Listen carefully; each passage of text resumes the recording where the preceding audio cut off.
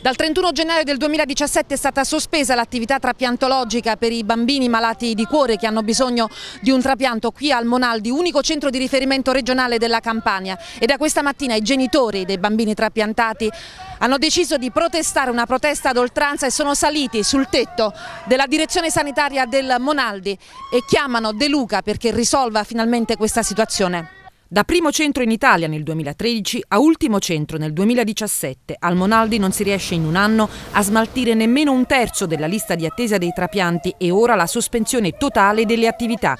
E il motivo per cui si è arrivati a questo punto ha dell'assurdo. Cioè sembra una barzelletta, danno come motivazione ufficiale della sospensione dell'attività trapiantologica il fatto che non ci sono attualmente le condizioni per collaborare tra la cardiochirurgia pediatrica e il, il centro trapianti. L'assistenza che loro dicono di poterci garantire ai ragazzi già trapiantati, come pensano di garantirla se non possono collaborare i due reparti? Chiunque sappia che cos'è la vita di un trapiantato si rende conto che questa è una baggianata, ci prendono in giro. Fu messa in lista attesa nel 2013 da loro al secondo piano la cardiologia e inspiegabilmente gli stessi che l'hanno messa l'hanno tolta.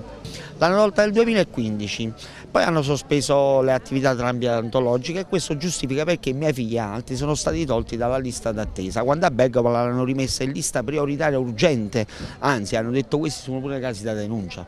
Se questa protesta che è arrivata appunto al limite, eh, perché siete molto stanchi, eh, non dovesse sortire l'esito che mh, vi aspettate, che cosa accade? Rimaniamo qua rimaniamo qua a dormire e a mangiare per un paio di giorni e fra due giorni smetteremo anche di mangiare e poi smetteremo di bere.